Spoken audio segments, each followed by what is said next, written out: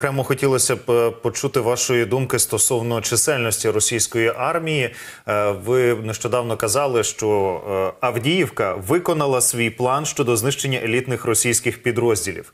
Утім, не елітою єдиною, а якраз таки багато інших підрозділів і мобілізованих, і так само людей, які перебували з- ну, власне, в тюрмах, ось теж значна частина. Отже, про яку кількість противника йдеться на тих чи інших напрямках саме на півдні? Е, Знову ж таки, увага наша прикута і до лівобережжя Херсонщини. Так само зараз дуже активно працює ворог і в Запорізькій області, так званий Роботинський плацдарм. Отже, чи можна приблизно сказати, якою кількістю володіє противник там? Е, Ну, власне, давайте говорити про е, Роботинський плацдарм. Атаки там не припиняються, і ми не можемо говорити. Вони стали можливо більш інтенсивними. Це дійсно. І, до речі, бачимо, кожного дня ці атаки відбуваються героїчно нашими підрозділами, зокрема.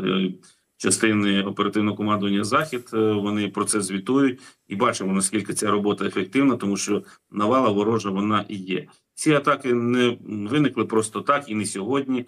І о, дійсно це важливі напрямки для ворога, і Херсонський, і Запорізький. Тут дуже багато інформаційної складової, при тому, що ворог дійсно атакує, ворог намагається рухатися е, по цих напрямках і має певні тактичні е, просування. Якщо говоримо про Запоріжжя, Е, наскільки відомо, то росіяни об'єднали два угруповання військ. Е, Стосуються вони Дніпра та е, юг е, російських угруповань.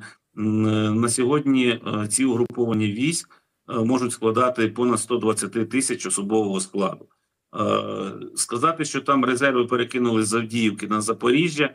На сьогодні такої інформації немає, тому що ви бачите, інтенсивність боїв на Авдіївському напрямку вона теж, до речі, не зменшилася. Тому ворога достатньо тут сил, ворога достатньо було підсилення відповідними бойовими машинами, але вдається сьогодні ці навали стримувати. Ну і до речі, дуже коротко про лівобережжя. Бачимо, що штурмові атаки продовжуються. Мета у ворога і дедлайн, у тому числі, я думаю, теж є відповідний щодо спроби знищити наші плацдарми на лівому березі. Все це продовжується, штурмові атаки, але вдається героїчною працею, надзвичайною героїчною працею нашим підрозділам відбивати ці ворожі штурмові атаки, наносити ворогові е, величезні величезну шкоду. Тому ситуація дуже складна і вона дуже динамічна. Ворог атакує. Ми дуже е, щільній і активній обороні. Мгм. Пане Сергію, от якраз е, пригадую, що Шойгу на радощах, коли звітував Путіну про взяття Авдіївки, е, так само відзвітував про взяття кринок, чого і близько не було насправді. Це одразу ж спростували наші збройні сили. Яка там ситуація зараз? Чи вдається отримувати позиції, чи не буде в подальшому таких звітів, або ще будуть такі псевдозвіти під вибори виключно в рамках їхньої пропаганди? Ну, які звіти може робити Шойгу, ми всі бачимо і бачить весь світ. Е, Сьогодні триває дуже складна, вже сказав, важка бойова робота на цьому напрямку. Е, Плацдарми є, вони діють, вони воюють. І ще раз кажу, наносять ворогу величезну шкоду, як в особовому складі, власне, так і е, втрати бойової техніки. І звичайно, треба відзначити наших артилеристів. Це контрбатарейна боротьба з правого берега. Дуже влучно, надзвичайно влучно працюють. Ну і зокрема, знаєте, цей випадок, який стався буквально позавчора, знищення о, великої кількості. е, Ворожих е, солдат е, на одному з полігонів Херсонської області. До речі, там теж і десантників побили добряче, і побили морську піхоту. То я сподіваюся, що таких ударів по скупченням особового складу буде дійсно ставати все більше. Лівий берег тримається, і найголовніше, ми маємо пам'ятати, що не дивлячись на складності, які там є, правий і лівий берег будуть разом. Це найголовніша наша мета. Так. Безумовно, ну будемо сподіватися, що якраз таких е, команд від е, генералів чи то інших е, чинів найвищого офіцерського складу Російської Федерації буде більше про формування схожих заходів. Ну а вже наша розвідка і відповідно засоби ураження радо прийдуть на допомогу тако, такій підготовці. Окремо хотілося поговорити ще й про ворога, якраз не тільки на суходолі, але й в морі. Нещодавня втрата Ми обговорювали з вами якраз таки великого десантного корабля Цезарь е, Куніков. Це серйозне досить таке ослаблення логістики окупанта. Утім, тут теж не варто одягати рожеві окуляри. У них залишається ще достатньо таких кораблів такого класу. Ваша оцінка, наскільки це попливало на логістичні спроможності ворога? Ну і загалом, е, як зараз себе почуває противник в Чорному морі? Чи є у них так звані безпечні місця, безпечні гавані для базування?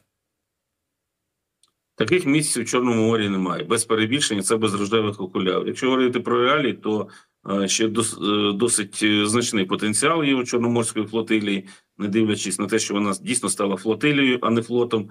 Є ракетоносії. Це найголовніша зброя, найголовніша загроза у ворога.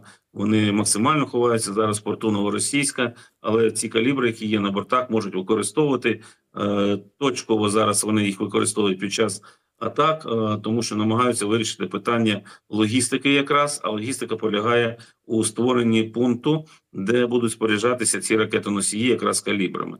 Е, Якщо це питання їм вдасться вирішити, то звичайно ситуація може дещо змінитися. А з іншого боку, е, якщо ми володіємо такою інформацією, то відповідна протидія, сподіваюся, від наших відповідних структур теж е, в будь-якому разі е, буде.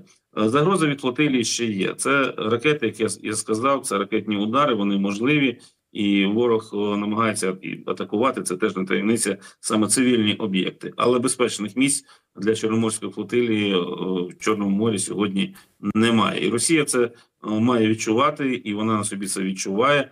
І треба подякувати, до речі, Страткому Збройних сил України, України, які вчора е, змоделювали е, таку собі мапу, назвали Чорне море кладовищем е, Чорноморського флоту Російської Федерації. Це дійсно вражаюча там картина, тому що флот поніс, я сподіваюся, непоправні втрати, і це вже не дасть можливості цьому флоту відновитися. Е, Дуже коротко, у нас, на жаль, не так багато часу. Щодо логістичних втрат через якраз таки пошкодження, ну, знищення, радше сказати, ось цього великодесантного корабля Кунікова. Ну, виникли трудності. Труднощі це зрозуміло, е, і це наша мета стратегічна. Пункти управління, логістика, е, об'єкти військово-космічних сил це те, що треба знищувати. І ви бачите, ця стратегія вона працює.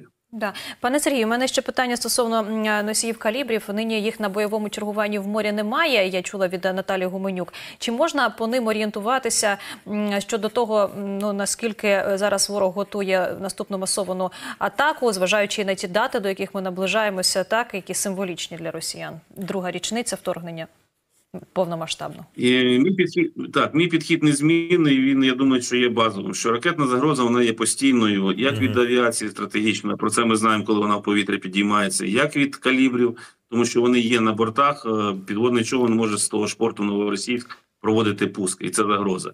Тобто треба просто реагувати цивільним на сигнал повітряної тривоги. А військові свою справу теж знають, що робити, як робити, як знищувати ворожі ракети. От і все. Все дуже просто. Так. До е, закінчення війни ця загроза є постійною.